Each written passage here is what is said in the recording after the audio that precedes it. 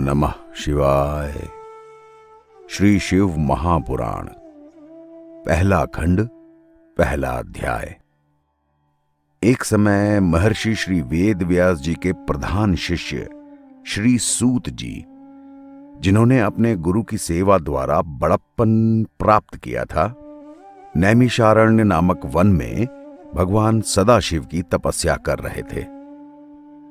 वे सदैव शंकर जी के ध्यान में मग्न रहकर उन्हीं के गुणों का कीर्तन किया करते थे।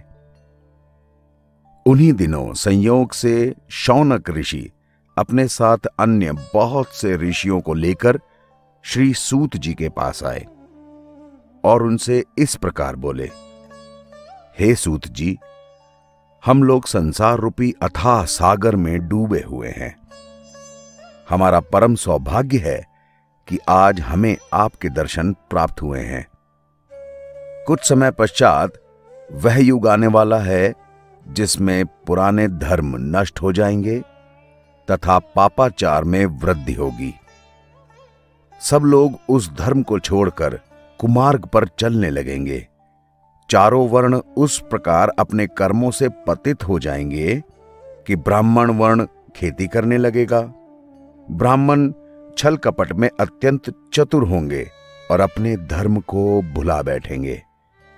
क्षत्रिय भी अपनी जाति धर्म को त्याग कर युद्ध क्षेत्र से विमुख होकर पलायनवादी बन जाएँगे तथा चोरी करने में अत्यंत चातुरी का प्रदर्शन करेंगे। वे शूद्रों के समान कर्म कर बैठेंगे और उसी अवस्था में रहकर प्रसन्नता का अनुभव भी करेंगे। गौ की रक्षा करना वो छोड़ देंगे। इस प्रकार क्षत्रिय जाति अत्यंत अन्यायी और दुखदाई हो जाएगी।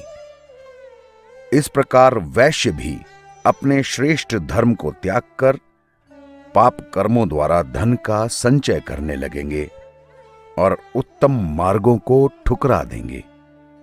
इस प्रकार शूद्र भी अपने धर्म को त्याग करके ब्राह्मणों का काम करने की कोशिश करने लगेंगे। शूद्रों द्वारा इस तरह विपरीत कर्म किए जाने पर ब्राह्मणों का तेज नष्ट हो जाएगा। ऐसी दशा में संपूर्ण प्राणियों में भी आयु की कमी हो जाएगी।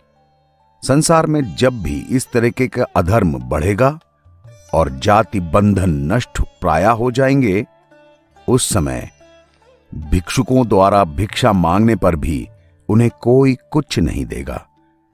वर्ण संकर मनुष्य अपने को उच्च कुलीन समझकर और लोगों को हे दृष्टि से देखने लगेगा। ऐसी अवस्था में संतान भी अपने माता पिता से प्रीति रखना त्याग देगी। मनुष्यों में संयम, जप, तप तथा शील भी नष्ट हो जाएगा। हे सूत जी ऐसे घोर कालिकाल में लोग तपस्वियों को केवल इसलिए सम्मान देंगे कि वे उनके पुत्र आदि उत्पन्न होने की कामना को पूर्ण करने में सहायता प्रदान करेंगे। इस युग में केवल बालों को संभाल लेना ही सुंदरता का लक्षण होगा और अपने पेट को भर लेना ही सबसे बढ़िया काम समझा जाएगा। भला आप ही बताइए कि ऐसे घोर समय में कलयुगवासी जीव किस तरह मुक्ति प्राप्त कर सकते हैं? वे अपने पापों और सहस्त्र दुष्कर्मों को भस्म करके सत्य पथ को अपनाने में किस तरह समर्थ हो पाएँगे? आप सब प्रकार की चिंताओं को दूर करके प्रसन्नता प्रदान करने वाले हैं। हम लोग इसी चिंता में डूबे हुए थे कि तब तक हमें आपके दर्शनों का सौभाग्य प्राप्त हो गया। अब कृपा करके कोई ऐसा उपाय बताइए जिससे हमारी यह चिंता नष्ट हो जाए और हमें प्रसन्नता प्राप्त हो। संसारी जीवों का हित चाहने वाला आपके समान और कोई नहीं है। आपने भगवान वेद व्यास की अत्यंत सेवा की है और अनेक पापियों को पाप रूपी समुद्र से पार उतारा है। भगवान कृष्ण द्वेपायन ने अत्यंत कृपा करके आपको संपूर्ण पुराण पढ़ाए हैं। इसलिए आप हम पर भी अवश्य कृपा करें। शौनक ऋषि के मुख से निकले हुए इन शब्दों को सुनकर सूत जी अत्यंत प्रसन्न हुए। इसके बाद अपने नेत्रों से प्रेमाश्रुओं की वर्षा करते हुए वो इस तरह बोले, हे शौनक जी और अन्य ऋषि महानुभावों, आप लोग परम ज्ञानी और संपूर्ण संसार का हित चाहने वाले लोग हैं। यद्यपि संसारी लोगों की वह बुद्धि नष्ट हो गई है जिसमें सबके मंगल का ध्यान रहता है, परंतु आप सब लोग उसके अपवाद स्वरूप हैं।